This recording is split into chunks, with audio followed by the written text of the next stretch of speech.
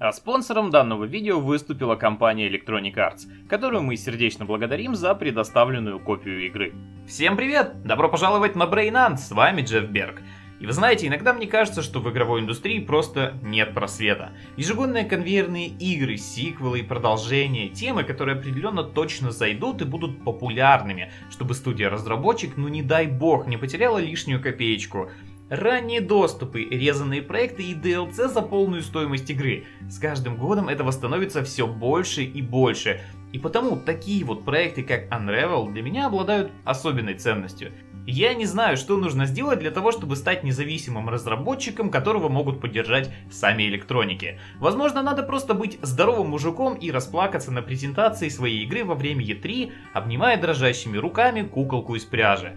Ну а может быть необходимо создать одного из самых необычных и запоминающихся игровых персонажей, да еще и придумать для него впечатляющую историю и подачу. Как бы там ни было, руководителю шведской инди-компании Cold World Interactive Марку Салину удалось сделать то, что не получается у многих, и выбить финансирование на свой впечатляющий и действительно необычный проект под названием Unravel, который лично в меня вселяет огромную веру в будущее всей игровой индустрии.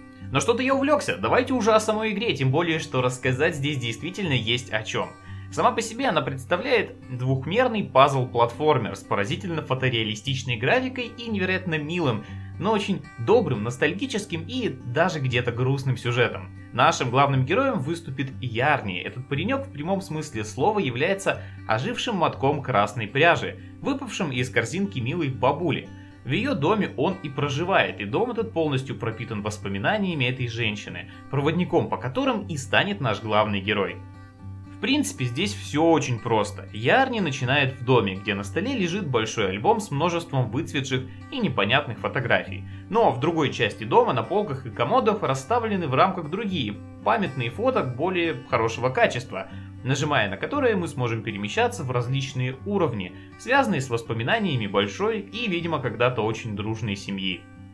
Каждый из этапов это какой-то уникальный кусочек мира, который опытному туристу с легкостью напомнит природу Швеции, ведь именно оттуда команда разработчиков и свою родную страну они стремились показать с самых необычных и оригинальных ракурсов, раскрыв красоту мира в привычных и обыденных на первый взгляд вещах. На каждом этапе нам предстоит использовать свою смекалку и, в общем-то, свою же собственную пряжу, из которой мы состоим, для решения различных пазлов и головоломок. Впрочем, здесь почти никогда не бывает ничего слишком сложного. Это вам не Лимбо или Брейд, где иногда ты останавливался в полном недоумении с вопросом «Да какого же хрена, что же мне делать дальше?» Таких проблем здесь почти никогда нет. Но это на самом деле и хорошо, потому что эта игра не об этом. Она о воспоминаниях, преодолении сложностей и поисках ответов на самые главные жизненные вопросы. В конце каждого этапа мы находим какой-нибудь вязанный элемент, цветочек, рыбку и так далее, каждому из которых наш Ярни очень сильно радуется, а потом клеит на большой альбом, отчего в нем проясняется целая череда фотографий и появляется какая-то своя маленькая история. Управление главным героем очень удобное и интуитивно понятное, как на клавиатуре, так и на геймпаде. Я попробовал и там, и там, Привыкаешь буквально за 5 минут и потом просто наслаждаешься местной продуманной физикой и красотой этого мира, которую сложно передать словами. Игра невероятно красива и фотореалистична. Разработчики подчеркнули, что создавали мир по фотографиям реальных мест и в отличие от других вот проектов, где природа это просто декорации и в основном она довольно мультяшная, здесь каждый элемент и деталь имеет свое какое-то огромное значение, и ты прямо видишь, что над всем этим работали не покладая рук. Местный мир очень насыщен, он полон своих каких-то маленьких элементов и деталей, чего стоят только животные и взаимодействие с ними. Птицы, крабы, ежи и все остальные. Здесь все они не случайно, они помогут нам еще лучше понять этот мир и проникнуться его реальностью. Честно скажу вам, я даже не предполагаю, как же, каким же образом вот эти вот шведы сделали такую красивую игру. И уж тем более не понимаю ее очень скромных системных запросов. Но факт остается фактом, это самый поразительный в визуальном плане платформер из всех существующих на данный момент. Так вы и проходите этап за этапом, решая здешние несложные, но интересные загадки и проникая в историю вот этой вот одной семьи. На самом деле сами разработчики говорят, что это игра о преодолении препятствий, воспоминаниях и поиске своего собственного будущего. Но тут уже каждый сам решит для себя поиграв. Лично для меня это очень добрая и камерная история, в которой главный герой так подкупает своей искренностью, что ты просто не можешь оторваться, погружаясь в эту тягучую, неспешную атмосферу шведского лета. И все это под приятную фоновую музыку, которая еще больше помогает создать верное настроение.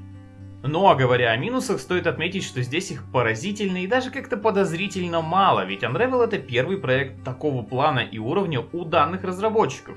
Вы должны быть готовы к тому, что некоторые головоломки будут не слишком очевидными. Иногда Ярни не будет делать то, что вы ему говорите, и от того порой даже поумирает. Местами сейфпоинты расположены далековато друг от друга и совершив очередную ошибку или просто рискнув добраться до одной из местных секреток, вам придется делать слишком много одних и тех же вещей заново. Но это, пожалуй, все. Большую игру мне упрекнуть решительно не в чем. В ней вас не ждут какие-то откровения или революционный геймплей, но если вы ищете что-то доброе, теплое, уютное и душевное, то мимо Unravel вы просто не сможете пройти. И знаете, в этой игре, несмотря на определенные недостатки, которые есть везде, давайте будем честны, меня подкупает очень многое. Я имею в виду, ну вот вы только гляньте на Ярни. Главный разработчик везде таскается со своим прототипом. И на волне популярности игры они легко могли бы открыть огромный магазин с мерчем. Продавать куколок Ярни, футболки с ним и любые другие товары. Но вместо этого на главной странице игры в Origin есть видео, где Марк Салин учит нас всех, как сделать своего собственного Ярни максимально быстро и дешево. В этом чувствуется отношение, в этом чувствуется желание сделать что-то действительно достойное, а не просто срубить бабла. И это как ничто другое показывает, насколько молодые независимые финские разработчики старались и вкладывали всех себя в эту маленькую, но интересную историю.